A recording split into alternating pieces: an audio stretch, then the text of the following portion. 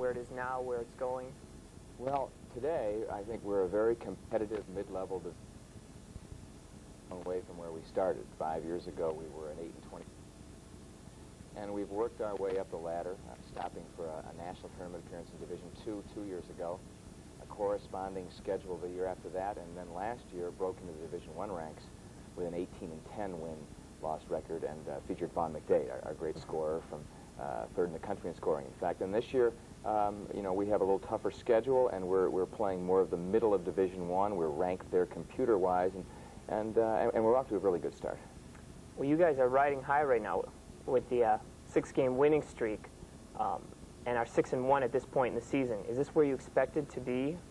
No, I'm, i think we're very fortunate to be six and one at this point in time. We've won three or four, three for sure, very close games. Games could have gone either way. And we have a road win. And uh, one other thing about our schedule is we, we dropped 10 of our 18 wins from a year ago. Schools wouldn't schedule us again. And we, we replaced those with new teams, uh, and one of those new teams was Western Illinois, uh, first division finisher in the Mid-Continent, and we won at Western Illinois. That was a big surprise. We also had a really nice two-point win over Montana State, which was a terrific victory for us, and, and played a very close 94-90 uh, ball game with Moorhead. So those those are swing games that could have gone either way, and they went our way, and that's why we're, we're 6 and 1 today. How would you compare this team with the one that went 18 and 10 last season? Well, certainly not the dynamic guy. I always say it's much more fun to coach a guy that gets 50 against Illinois than most guys, and uh, and, and, I still say that. Uh, so, and Randy Doss was nine rebounds a game and 18 points. So, different kind of team, much more balanced. Uh, we'll have three, four guys in double figures almost every game. We're actually scoring a few more points because of that and uh, we're deeper. Um, we've had Dion Edmonds come off the bench and score 24 points. Uh, we've had Ray Perrine uh, in, in high 20 scoring, uh, who was not a starter last year. And we've had, I think, six different leading scorers in seven games, and that's that's one of the reasons why we've, we've had the success. So we're, we're much more balanced, I think, as a team. So uh, strengths, weaknesses, uh, what would you say um, would you say a strength is depth then? Uh, Certainly depth. I, I, think another thing that uh, the scouting report on us now is, is, fairly universal. Everyone knows, you know, we're not very big. Uh, we don't have great strength. We're, we're very quick. We've got good athletes, and we shoot the ball well from the perimeter. We're an excellent three-point shooting team. So uh, the things we do well is, of course, run and press and shoot the threes. The things we struggle with is low-post defense, uh, defensive rebounding, and uh, certainly any kind of a physical contact game. We had a terrific victory over Maine here a week or so ago, who was, who was just the most physical team that, that we'd played all year. I've, we've accumulated 15 stitches so far this year among two guys. So we're, we're really a, a good, quick little team that, uh, and, and we have good determination too. We try really hard. I think it's one of our biggest assets. But we struggle with the big people. Getting back to a point that you touched on before, um, you've had uh, six players uh, six different players now lead the team in scoring in the last six games. Uh, what would you attribute that to? Would that be the system or the individuals?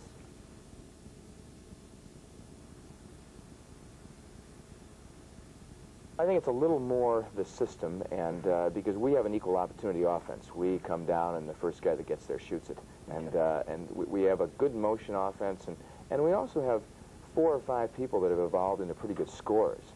Uh, Craig Green was uh, under 10 points a game last year, and he's close to 20 a game this year. Ray Perrine was maybe a point or two a game, and he's up over 10 or 12 points a game. So we've added some guys that can score, and then we've had good consistent guys like Joe Schultz and Dion, who are seniors. And uh, Schultz has had a terrific start. I think he's making 58% of his threes. And so that's, uh, so we, have got good balance that way, and we've had some new guys step up that, uh, that I'm glad for and, and a little surprised, to tell the truth. I'm going to name some individual players now, and I'd like you to just tell me the first thing that comes to your mind. Just give us a little bit of a background on him. Uh, first of all, Joe Schultz from Brookfield. Well, Joe Schultz is, uh, you know, you're lucky in this in this business if you get a coach guy like Joe Schultz. He's a four-point student. He tries. He comes to practice every day. He's a he's an average player that that made himself into a good player. And uh, you don't see a lot of guys from the suburbs that do this. I mean, you know, Schultz is, most of Schultz's friends are at the swimming pool and, and playing tennis. Uh, Schultz is and he's now a city guy. Rob Kukla played for me two years ago, was like that, uh, from Beloit. And uh, Schultz is a, is a, city player, plays our game, great shooter, learned to be a pretty good ball handler, um, learned to play up and down, though he's not as comfortable in that as he would be in a, in a slower environment, um, but really developed. You know, you can tell he's, he's, a smart kid because he got better when he was here. Dion Edmonds. Uh, hardest working guy on my team. Uh, one of my recruits in the Chicago Catholic League where I used to coach Um, terrific inside player. We've asked him to play point guard, center. Uh, we've asked him to shoot the, from the shooting guard this year and has done most everything and, and uh, also by far our best defensive player. We use him uh, as a stopper in these games. Real interesting story. Uh, Olafu Abaji. Yes. Uh, a Nigerian via Vincennes Junior College in the middle of southern Indiana, um, and, and, a guy who hadn't played very much basketball.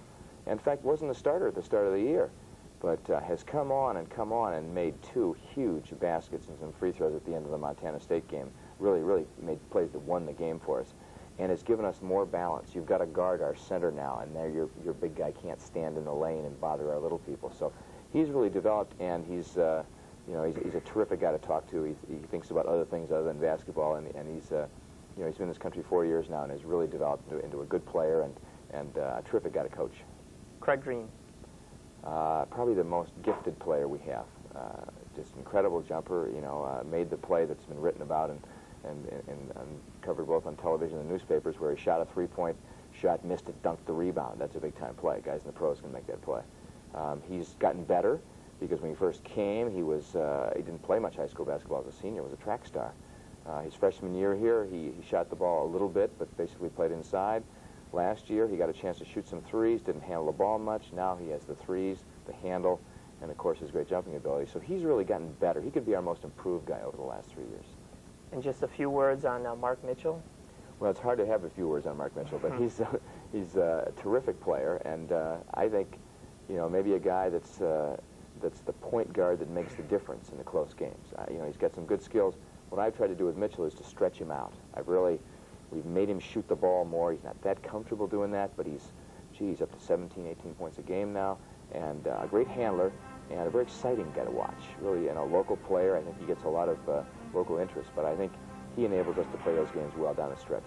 Steve, we're going to have to temporarily interrupt you here, this uh, conversation. Um, we'll be back after this brief timeout.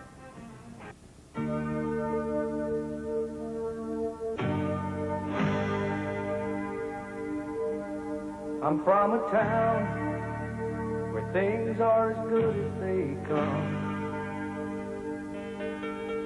And it's pictured in my mind just as clear as the midday sun.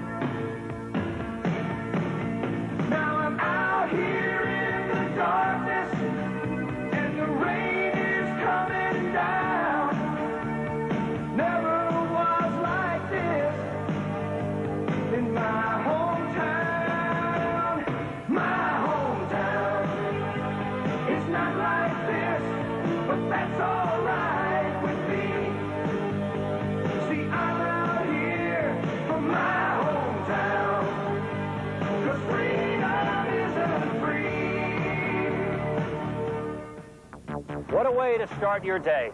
How many of you sit in traffic every day, polluting the air, wasting time and energy, pushing your stress level into the red zone? And unless you and I do something about it, it's going to get a lot worse.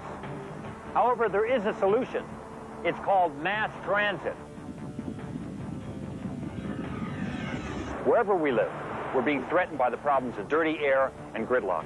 Whether you're living in New York, Akron, Los Angeles, or Champaign-Urbana, to solve the transportation problem, you have to think transit, you have to get involved. Cleaner air in cities and suburbs, less traffic congestion, energy conservation, growth of business and jobs, safer travel. It's not hard to become active in a campaign to improve the American lifestyle and economy. I'm doing it right now, along with these other people. Join us, because America's future rides on transit.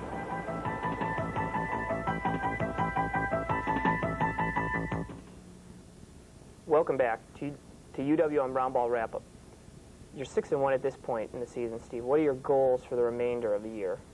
Well, I think that uh, one of the things we thought about at the start of the year was could we play well here in Milwaukee? Difficult home schedule, and we've done that so far.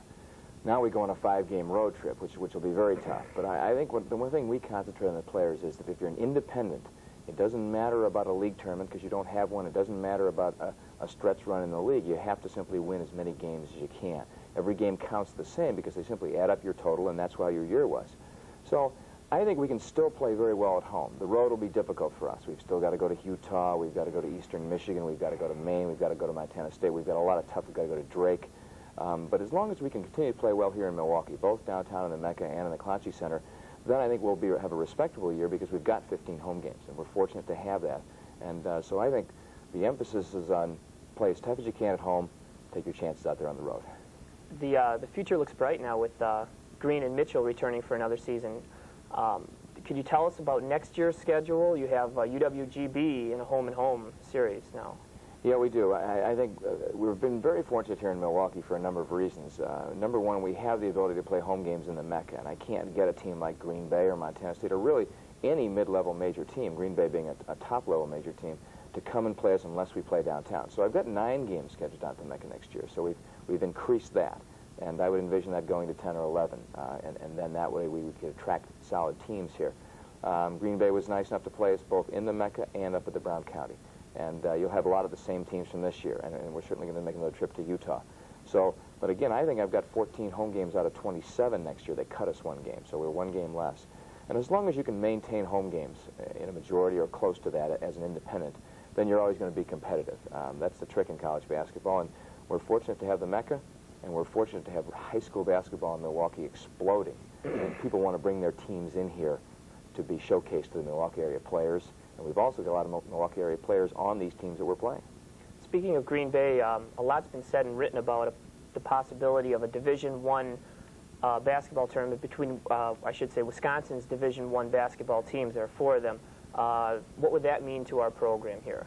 Well, I, I think it'd be terrific. You know, we've uh, we've we've certainly advocated it all along, and the thing that I've said, and, and I really believe, is that it's our job to be competitive, because if we're not a competitive team, then we don't have the discussion, well, what would happen if they played Madison? What would happen if they played Marquette or Green Bay? And uh, we're the new guy in the block. We're, we're the one that just started. In fact, just our second year in this. And uh, so I'm really, I'm really proud of the players because they've played well enough so lots of people are talking about this, and people aren't really sure how it would go. And as long as we can keep ourselves that strong, then I think eventually you're going to see this tournament. The first step being let's us play Green Bay, see how that goes, and then and so on and so forth. So um, we have to keep strong, and, and then uh, we have to be a viable uh, competitor for these other three teams. Uh, what about the likelihood now of um, an, a conference affiliation? We heard a little bit about that over the uh, over the previous summer now. Well, the conference affiliation thing is, is really a, a difficult thing. And if I have a little time to go into this with you, know, they, they started with an eight-year waiting period mm -hmm. simply to make sure that the, that the big schools got to keep the money longer. Uh, it, it, was a very strong power thing by them. Our athletic director, Bud Haidet, did a terrific job in negotiating and lobbying and reducing our waiting time using some of our previous time so that after the end of the season, we have only two years left, and then we can qualify for an automatic bid. That keys the league leagues are not excited about you if you can't get the automatic bid because that's what they are awarded. And, and so it's difficult to be in a league. So I think we've got two years to build our program up to the point where we have the vast majority of our home games in the Mecca and a competitive team. And then I think we'll be a, you know, a, a good alternative for any league. If the Mid-Continent would be a terrific league, the Missouri Valley, uh, the Midwest cities, there's lots of things going to happen in the next couple of years. Our job is to make sure we have a good place to play, a representative team, and uh, quality guys so that we have a good reputation with our program so people would want us in their league. Just out of curiosity, have you formulated a long-term plan now? Um, well, I, I think, uh, in fact, I was asked this question the other day, and one of the things that, that you, you, have to remember that we've come so far so fast. Um, you know, we've come from, from uh, a new team, and last week we were 120 on the computer rankings. Now that puts us against ahead of Villanova, the, the Big East, uh, Arizona State, uh, it's incredible the teams that with it. So we're in the mid-level of Division One already. Uh, my goal is to just stay in there. I, you know, we're going to have a lot of tough games here, and, and, and if we can maintain that middle third ranking um, for, for two or three years, and, uh, and again, develop a good, strong home record. You know, mm -hmm. I always appreciate Marquette won 81 in a row, and, mm -hmm. and, I'd like to win 81 in a row downtown in Mecca. You know, if we can do that, then that's what people want. They, they want a, a team that has a good, strong home following, and uh, so, so that's our goal, and to, to compete with some, some pretty heavy hitters that we're playing right now. So uh, the computer rankings are some consideration then for coaches, uh, particularly the fledgling programs. Absolutely, then. because yeah. it, because it, it, the, the key element to those is that it, it, makes you okay to lose to. Mm -hmm. Because if you're if you're uh, you know if you're a bottom 20% team, people won't play you in case you might beat them. But it's okay to lose to us now. We've beat some pretty good teams, and we almost beat some exceptional teams a year ago. So, um, and, and, that's, that enables us to schedule. The lifeblood of an independent is your schedule. Because you're not locked in by a league, and that's why independents, there's few of us these days.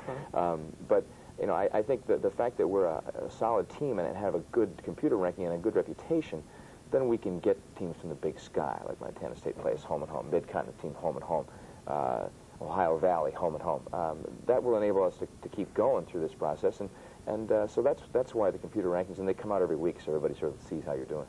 There's a bunch of uh, somewhat, uh, somewhat, uh, some criticism circulating, uh, you know, uh, criticizing the Marquette and Wisconsin schedules for scheduling a bunch of uh, teams that rank a little bit lower, actually quite low on the, uh, on the computer polls.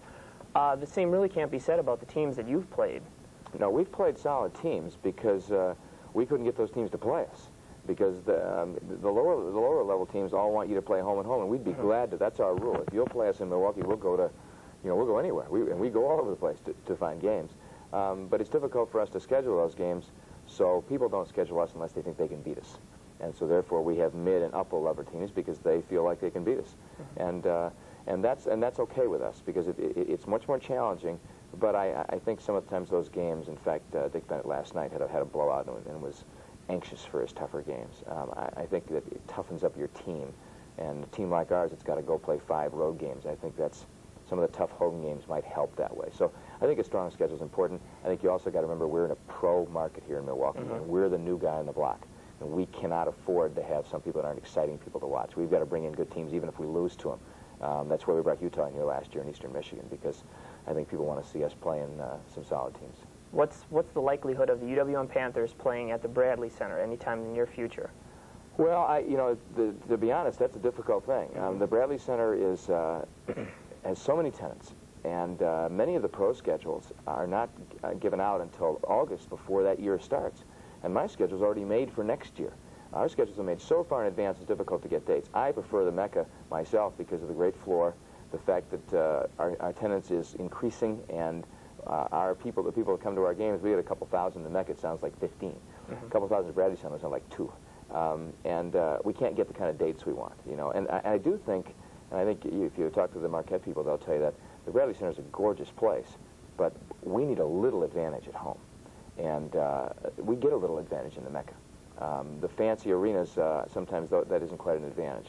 So I don't see us being a tenant down there, uh, certainly in the near future. I see us in the Mecca um, or, or whatever it takes the place of the Mecca someday. But I, I can see us in a, in a smaller, more intimate environment, and I think we can have a lot of success there as uh, Al McGuire did. Okay, thanks, Steve. Uh, it's just about time for another uh, timeout. We'll be back in just a moment with more UWM Roundball Wrap-Up. How do you treat a person with a disability? Like a person. But what does that mean? Listen to what I have to say.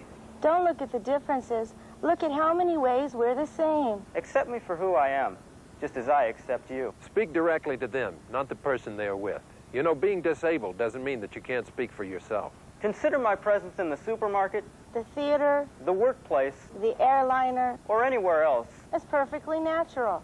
I Extend to them the same courtesy that you would to anyone else. Give me a chance to work for you. Don't talk loudly or slowly. Being physically handicapped doesn't mean that they're hearing impaired necessarily. Get to know who I am. You might like me. Sounds good to me. Remember, You're not treating me like a person when you park in my space. Milwaukee Area Developmental Disability Service Agencies. People reminding other people that everyone wants to be treated like a person. Here in the Milwaukee area, There's more of what you're looking for. Just open the door. with Viacom, and get better acquainted with the world around you and the universe too. Anytime, day or night. We open the door. To sports of every imaginable sort. To the classics that never grow old. Or channels for kids that challenge the imagination. With cable in the classroom, we can show as well as tell. Viacom Cable, where the movies are newer, the issues are clearer, and so is the picture. We share the past and a future of more and better programs and service. Viacom Cable. Your time's well spent.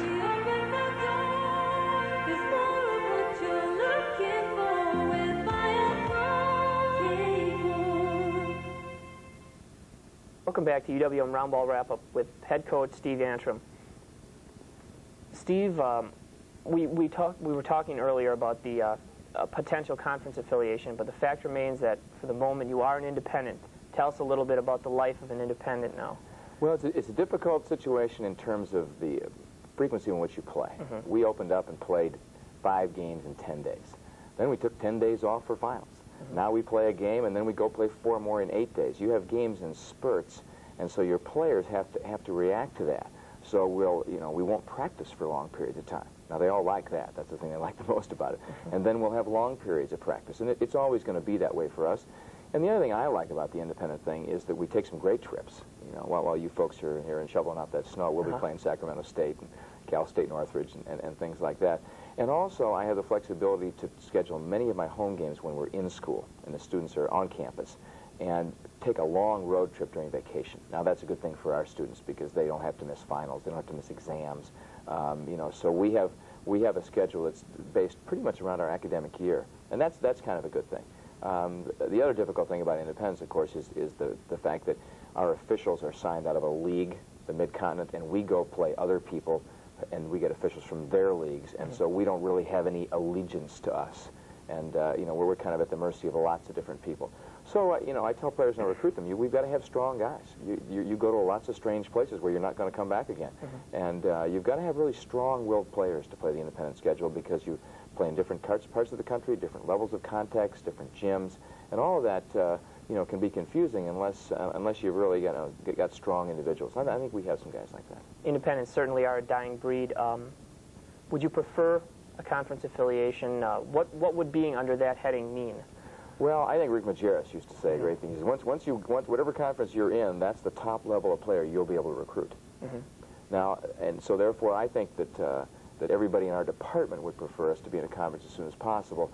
I would prefer us to have the strongest team possible, and then therefore be you know be a real strong candidate in a conference because everybody cuts a different deal when you go in a conference, and I want to make sure that we have a good team so that we cut a good strong deal for ourselves, for our own program, for our students, and for our for our city and things like that. So I think that's the most important thing. This is a very tough business now, this Mhm. college basketball, because of all the money involved.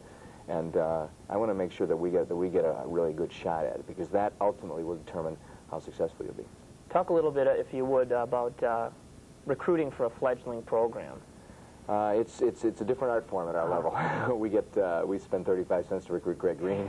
you know, we get Vaughn McDade for a phone call across town at the YMCA. Um, i you know, it's it's a different kind of thing we do. And, and what you have to have, you have to have two great guys. I've got Greg Capper and Ron Hunter who really know the game and are big in the Milwaukee basketball family, which is a real family and it's not that big and people know, you know, so they know if a guy's getting a fair shake at our school. The second thing is that we have to recruit the kind of players that play like we play. We don't necessarily need big guys. We just need really quick guys and very athletic guys. And also guys who can really shoot. You know, shooting is a high priority in, in our recruiting. And, uh, and the third thing that we do is we have to be able to project a guy who isn't there now, but might get there. And uh, we have to project him that way. Green, track star. We don't know, but we take him because we think he's so quick and we run and press and things like that. Um, Vaughn, small forward junior college, boom, guard, 30 points a game.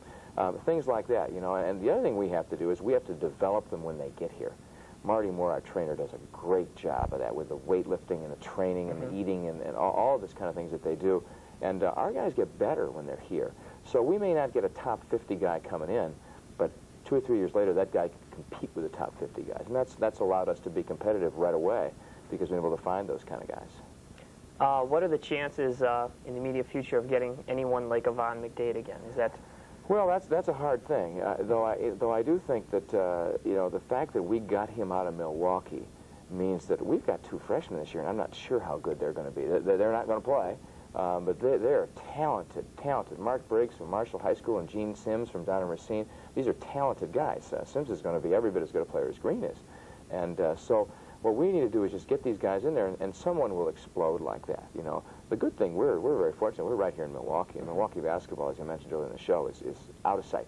Rick Cobb with the AAUs, the high school coaches. We've got, you know, we've got year-round basketball now. You got to have year. They do it in Illinois, and Kentucky, and Indiana. That's where they really do it, and we're getting that here. And our guys are, are just as good. So if we can get a couple of those guys every year, then we're going to be competitive, uh, you know, with the, the budget restrictions that we have and, and still be able to go out and play those mid-level teams. So, you know, our recruiting is, is, is a different kind of a thing, and, and I think if we stay on it and keep getting the Milwaukee guys, that we might pop up with another McDade sometime.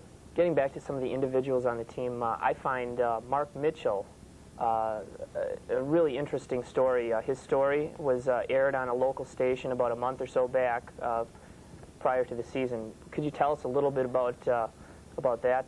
Well, sure. His story's a lot like McDade's. You know, they're both playground legends in Milwaukee. They went off to faraway places, uh, didn't like it, got better, came back. Um, they, they both really love to play. Uh, they're much different kinds of players. One's a one's a one's a small forward that we stretched into a pretty talented guard, and one's a little point guard that we're in the process of stretching into a, a, a well-rounded guard. Um, you can stretch guys like that if they love to play. They both love to play. They're both also well known to every 12-year-old in Milwaukee. You'd be amazed. I, I played in a benefit basketball game the other day for the police academy, and, and how many little kids knew Mark Mitchell. Mark Mitchell's a guy in town. Um, that helps us. Those little kids come to the games. They also want to get better and be like Mark Mitchell. And uh, so he's, he, he's done a terrific job that way. He's overcome a learning disability to be a competitive college student. And uh, he's, he's a very exciting guy, you know. And, and he loves, he loves to play.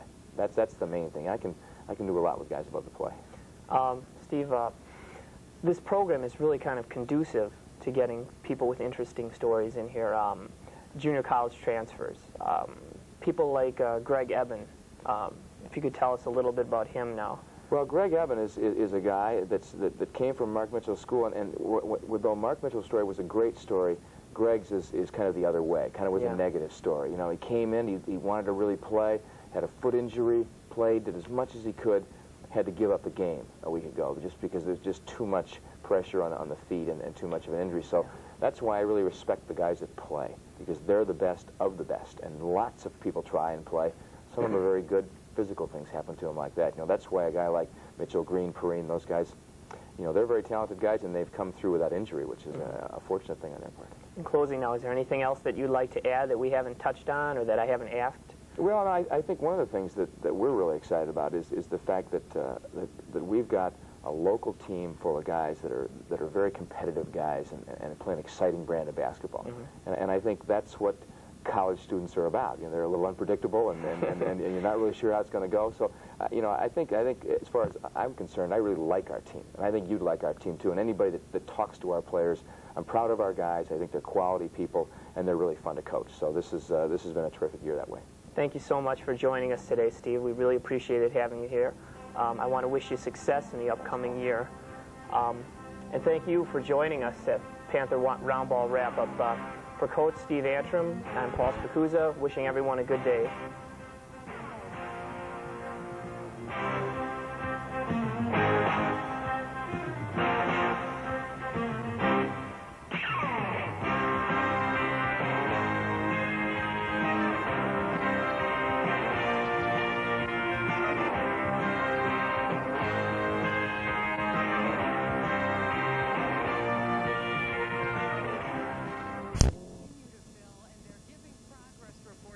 Podium down behind me, trying to let people know how far away the team is. And they were just